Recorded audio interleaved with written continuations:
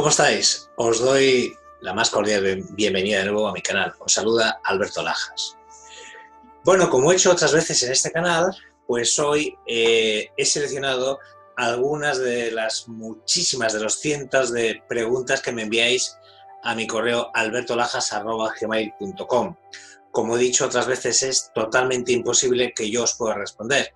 De hecho, algunos os enfadáis y me mandáis varios emails. ¿Por qué no me responde? ¿Por qué no me responde? ¿Y por qué no me responde? Pues porque recibo miles y miles de emails y es imposible que yo responda a, miles de emails y por tanto desatienda mi trabajo, mis cursos, mis libros, todo lo que es mi vida, obviamente. Pero sí es verdad que de vez en cuando hago una selección de algunos de esos cientos de mensajes y em, respondo por aquí a esos mensajes. Y hoy he seleccionado a cinco de los muchos que he recibido, que espero que además estas respuestas puedan servir también para muchos de vosotros. Comenzamos. Eh, Micael, Micael de Miami, Estados Unidos, eh, empieza el, el mensaje, empieza con unas letras muy grandes poniendo estoy desesperado. Con esto ya nos hacemos idea. Micael dice, eh, señor Lajas, le admiro y le sigo desde hace eh, muchos años en su canal. Por ello, confío en que usted me pueda ayudar. Quiero decirle que estoy en el, en el peor momento de mi vida. Mi esposa se ha fugado con mi jefe, el cual era mi socio además, y me engañó. Me utilizó para firmar eh, ciertos documentos con, con, los cuales estafar a cientos de clientes. Con lo cual se me condenó a cinco años de prisión. Acabo de salir apenas hace un mes. Estando en la cárcel, además, he cogido el virus del SIDA. Y actualmente estoy con un gran caos en mi vida. Enfermo, cansado, deprimido y sin ganas de nada. Usted en sus vídeos habla de que estas situaciones son maestros que nos pueden ayudar. Yo no entiendo dónde están los maestros porque solo veo castigo de Dios y hasta creo que por cosas que hice malas en mi juventud, esto me lo estoy mereciendo. ¿Usted qué opina? Pues, Micael, no es ningún castigo de Dios. Es decir, a veces pensamos que, eh, que las cosas buenas eh, son solo para los seres espirituales, los que hacen las cosas de Dios, y las cosas malas para los que hacen cosas malas, que están apartados de Dios tenemos un concepto a veces muy religioso, muy así, de, este concepto de lo bueno y lo malo. Micael, lo bueno y lo malo nos ocurre a todos, ¿de acuerdo? Eh, lo que nos hace diferente, lo que te tendría que hacer a ti diferente es la actitud. Tu actitud es, yo solo veo un castigo por lo que hice de joven. Entonces, el primer paso que debes dar, Micael, es perdonarte perdonarte. No podemos avanzar ni aprender nada espiritualmente si no nos perdonamos. El primer paso es eso que hiciste de joven, cosas malas, no sé lo que será, sea lo que sea, eh, lo que tienes que hacer es limpiar eso del pasado. ¿Bien? No puedes centrarte en los problemas que tienes en el presente si no solucionas los problemas del pasado.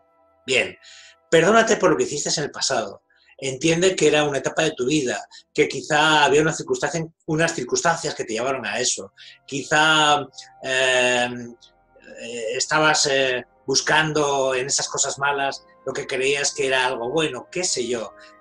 no, hay que, no hay que estar todo el tiempo regodeándose lo malo que uno hizo. Todos somos imperfectos y todos más o menos hemos hecho cosas malas en el pasado. Entonces, el primer consejo que te doy, Micael, es pasa hoja del pasado, borra eso. El presente. Dices eh, que tu jefe, que también era tu socio, te engañó. Bueno, eh, pues dices que no hay maestros, sí hay maestros. Esto te enseñará a que la próxima vez que te asocies con alguien, a tener más cuidado, a que la próxima vez que firmes algo, tengas más, más cuidado. ¿Cómo que no hay maestros, Micaela? claro que sí. Lo que pasa es que tú solo quieres ver desastre. En los muchos años que he estado pasando consulta muchos de mis pacientes me decían lo mismo que tú, es que eh, mi vida eh, es negra, todo está mal. Micael, lo que les he dicho a mis pacientes te lo digo a ti, tienes que ver el vaso medio lleno, no medio vacío. Si tendemos a ver todo como un desastre, nuestra vida será un desastre. Obviamente, al ser humano le gusta estar bien, tener su, economía eh, solucionada, eh, sus relaciones de pareja también bien. Eh, todos queremos estar felices y sin preocupaciones.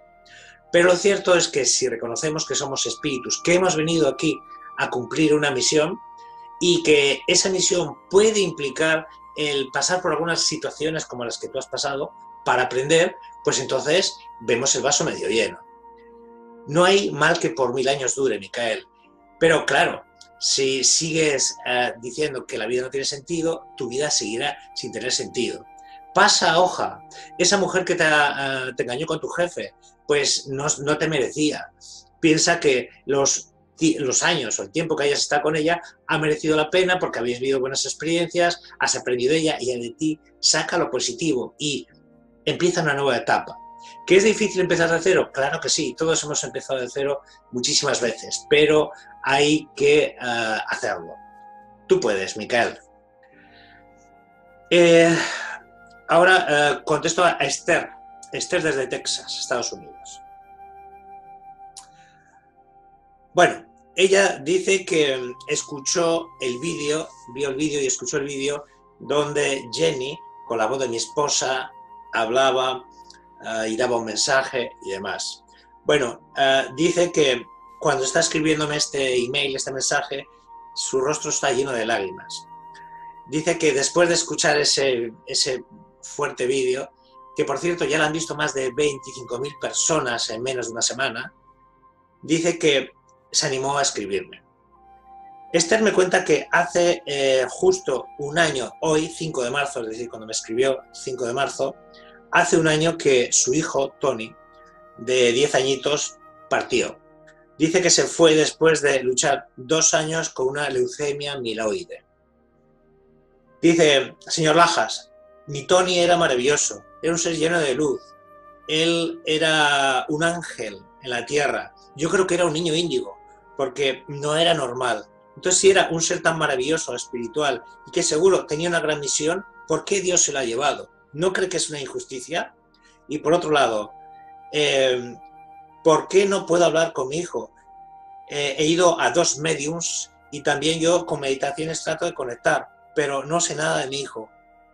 Eh, gracias, saludos. Bueno, Esther, empecemos por por qué Dios se lo llevó hay palabras, expresiones que tenemos que borrar, porque muchas son, eh, como digo, eh, de la educación religiosa que, nos han dado.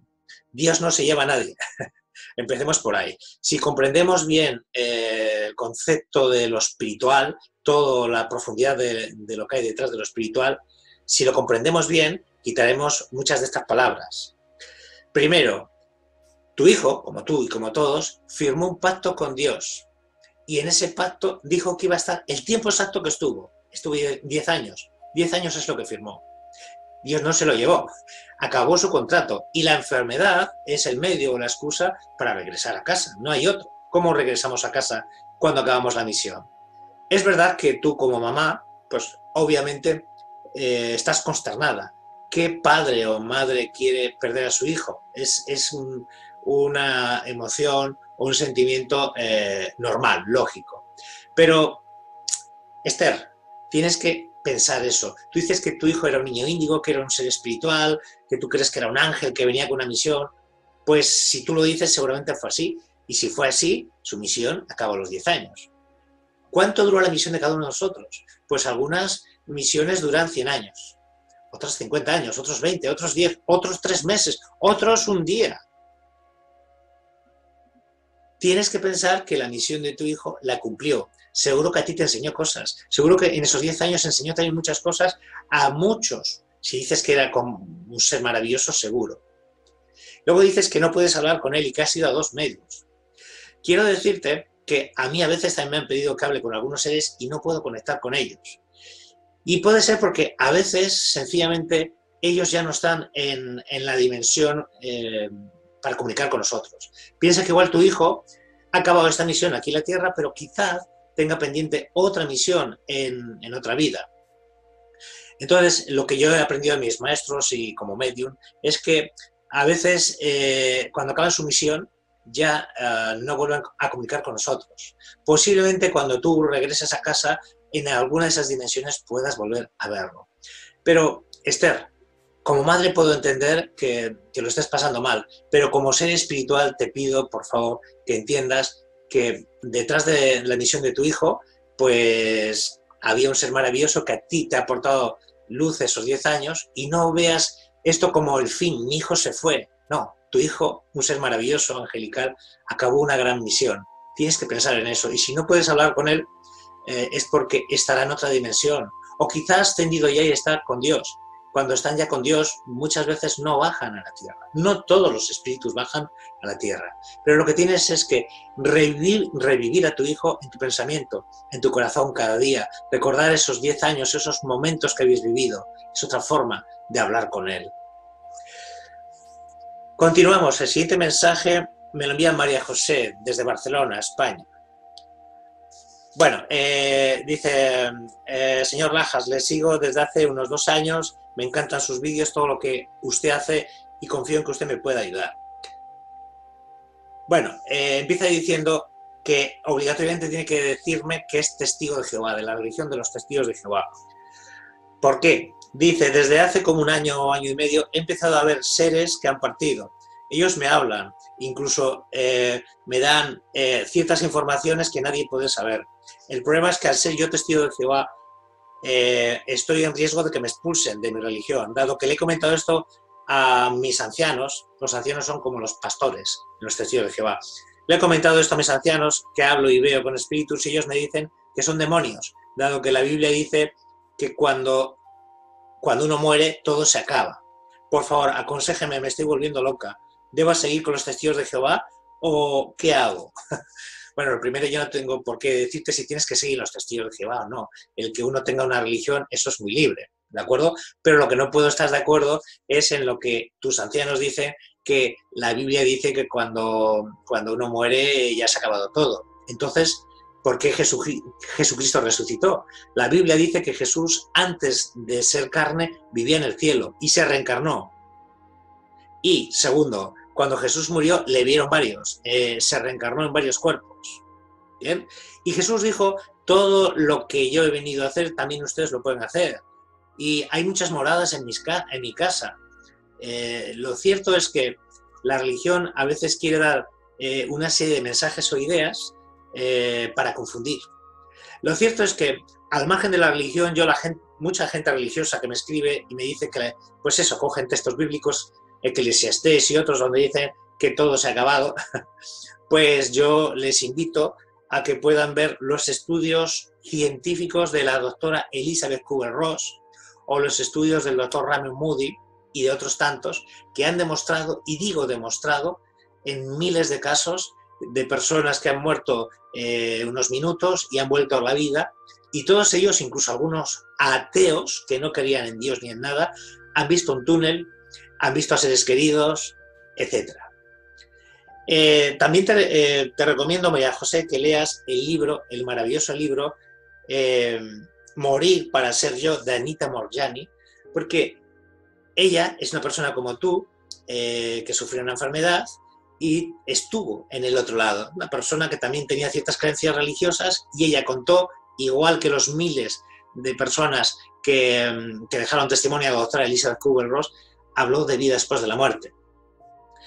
Eh, María José, eh, tú puedes ser testigo de Jehová, puedes ser lo que quieras, pero si sigues permitiendo que alguien te torture, haciéndote ver que eso que ves son demonios y todas estas creencias, yo para mí esto es una forma de maltrato psicológico. Yo no tengo por qué decirte que sigas o no sigas en esa religión, pero me parece que cuando a alguien le, le, le dicen si sigues haciendo eso, te expulso de la religión, creo que esto no está bien, porque recuerdo y digo siempre lo mismo, aunque se enfade a alguno, Dios no tiene religión, ni Jesucristo creó ninguna religión. El cristianismo lo creó y el catolicismo Constantino I, eh, alguien que era pagano y mezcló cierta ciertas ideas cristianas con las paganas. Es decir, Jesucristo y Dios no tienen religión. Eh, no porque estés en una religión o no estés, Dios te va a amar o no te va a amar. Eso lo tengo muy claro y tienes que tenerlo también tú muy claro, María José. Continuamos. Eliseo, desde Lisboa, me dice, señor Lajas, eh, espero que pueda leer mi mensaje. Yo entiendo que usted recibe muchos mensajes a diario. Ojalá me lea. Tengo 71 años, vivo en Lisboa. Soy viudo con tres hijos, a los que hace más de 20 años que no veo. Se enfadaron conmigo y aún no entiendo por qué. Y esto me hace sentir muy mal, y más cuando sé que ya he tenido tres nietos. Llevo como más de un año muy enfermo.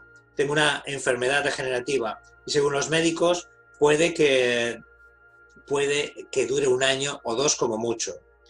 En este estado solo siento soledad, tristeza y ganas de quitarme la vida, porque me puede decir qué sentido tiene seguir viviendo con este sufrimiento. Bueno, Eliseo, esto es parecido a, la pregunta de Micael de Miami. ¿Qué sentido tiene eh, vivir eh, sufriendo? Bueno, como he dicho, le respondí a Micael, el sufrimiento no le gusta a nadie. Obviamente, ¿a quién le gusta estar enfermo, tener problemas económicos, que tus hijos no te hablen? A mí mis hijos hace 16 años que no me hablan. Pero como siempre he dicho, el problema lo tienen ellos, no tú. En el tema de tus hijos, yo que tengo experiencia, como mis hijos no me hablan, a pesar de que no hay ninguna razón, ninguna, eso me llevó a hacer sentir mal y te entiendo. Eliseo, tus hijos no te hablan. Y dices, si no sabes por qué, muy bien. Es decir, cuando alguien tiene un problema contigo, tiene que venir y decírtelo. Si tus hijos y mis hijos no vienen donde nosotros y nos dicen, mira, pues no quiero estar contigo por esto, ¿cómo vamos a poder solucionar un problema con, con alguien si ese alguien no viene a decirnos qué problema tiene con nosotros? Es decir, nosotros no podemos estar sufriendo porque alguien de repente no te habla, sea tu hijo o quien sea. A mí hay amigos que de repente me dejaron de hablar, entonces pensé, no eran amigos de verdad y por otro lado, dices que tienes una enfermedad degenerativa y que te dicen que igual duras un año o dos y que, bueno, te encuentras solo y demás. ¿Qué estás pensando en el suicidio? Yo te aconsejo que veas, como le dije a Micael, el vaso medio lleno. Es decir, todo tiene un porqué. Tú elegiste la vida que estás teniendo, hiciste un contrato con Dios.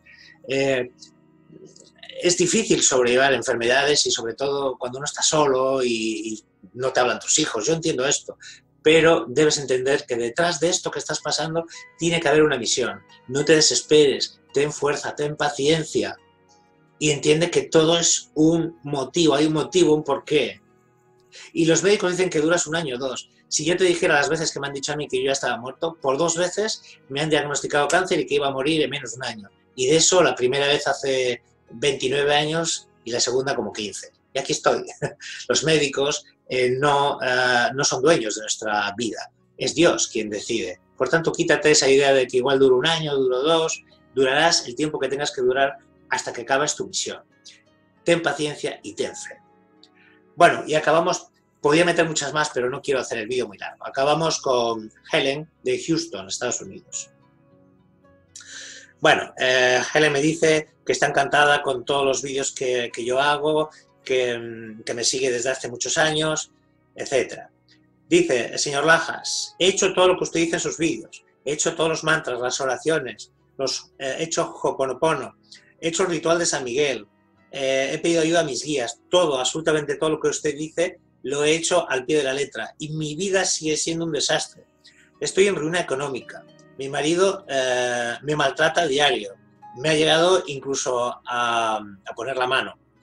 Mi hijo está en drogas y ha estado ya dos veces en la cárcel. Y yo estoy con una gran depresión. Si hago todo lo que usted dice, ¿qué hago mal? Helen, pues estás haciendo algo mal. Claro que sí.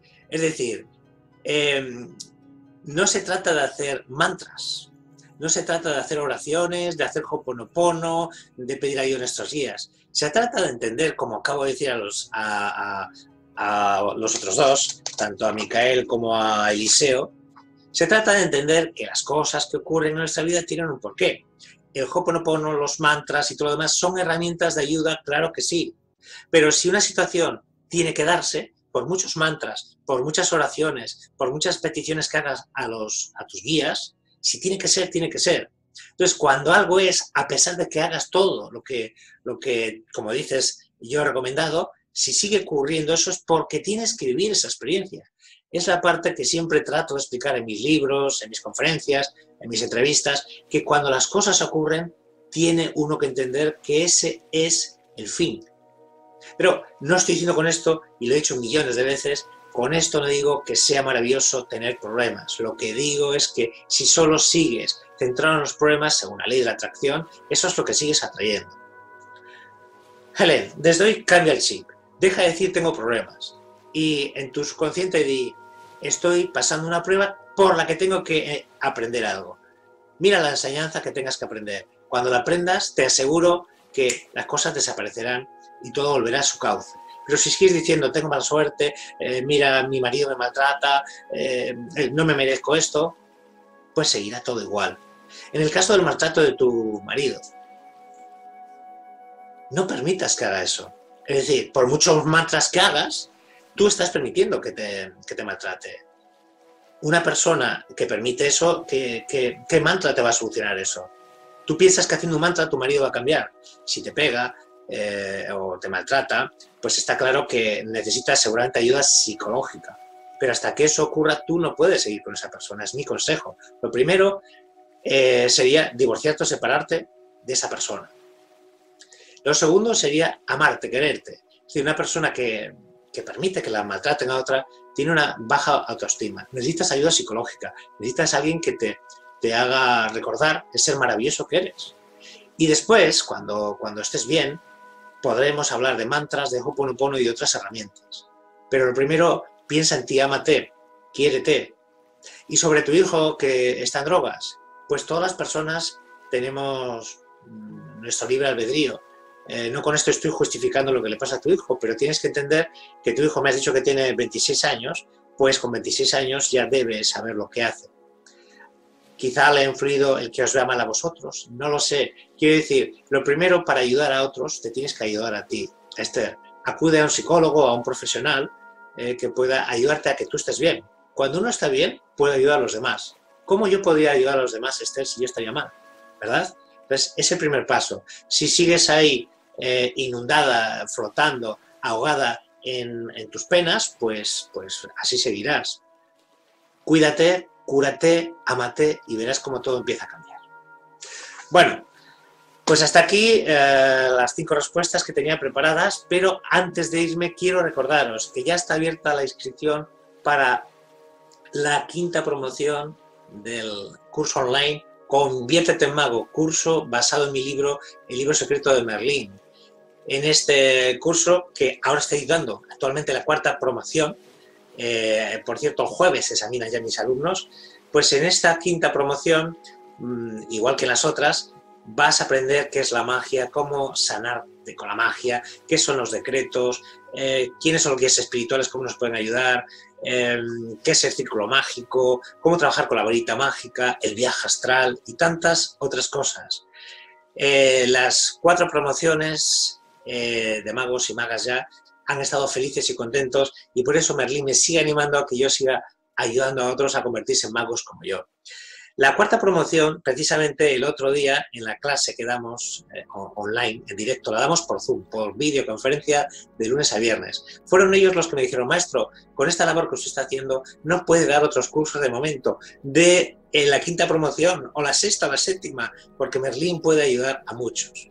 Pues igual que ellos están contentos, estoy convencido que tú también lo puedes estar si entras en la quinta promoción del curso Conviértete en Mago.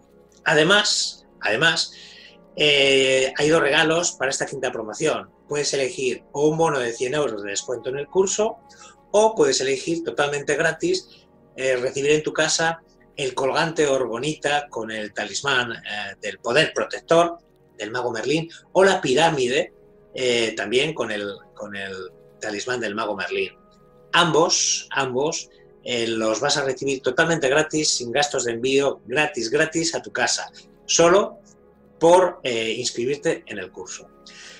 Debéis daros prisa porque solo hay 25 plazas. En todas anteriores promociones me ha pasado lo mismo que cuando llego al último día la gente se apunta y les digo, lo siento, pero ya no hay más plazas. ¿Y por qué no hay más plazas? Porque me gusta hacer grupos reducidos. Porque dado que lo hago online, eh, por Zoom, por videoconferencia, y después eh, de, la videoconferencia vamos al grupo de WhatsApp para interaccionar, pues si son 50, si son 100, es más difícil interaccionar. Por eso me gusta grupos pequeños y he puesto esta vez como máximo 25 personas. Así que si quieres ser uno de esos 25 que pueda ser eh, alumno de la quinta promoción del curso Convierte en Mago, debes darte mucha prisa. albertolajas.gmail.com y a los que me estáis preguntando eh, para comprar, no, yo no quiero hacer el curso, señor Lajas, pero yo sí quiero el colgante y la pirámide. Los dos van juntos, ¿vale? El pack va junto porque las dos son necesarias. El colgante para ayudarte a equilibrar tus chakras y crear un halo protector y ayudarte en tus procesos de sanación. Y la pirámide para tenerla en tu habitación, en tu cuarto, en tu despacho, para que te proteja y equilibre la energía. Los dos van juntos. Los dos valen 100 euros el colgante y la pirámide. Si vives en España, 5 euros de gastos de envío. Si vives fuera de España, 10 euros de gastos de envío. ¿De acuerdo? Colgante y pirámide orgonita con el talismán ultra protector de Merlín. Para pedirlos, daros prisa porque están hechos a mano uno a uno por mi esposa y hemos hecho una edición limitada que está a punto de acabarse. Debes darte muchísima prisa. albertolajas.com Gracias, gracias, gracias. Os envío mi amor, mi energía, mi paz y espero y deseo que seáis muy felices. Gracias.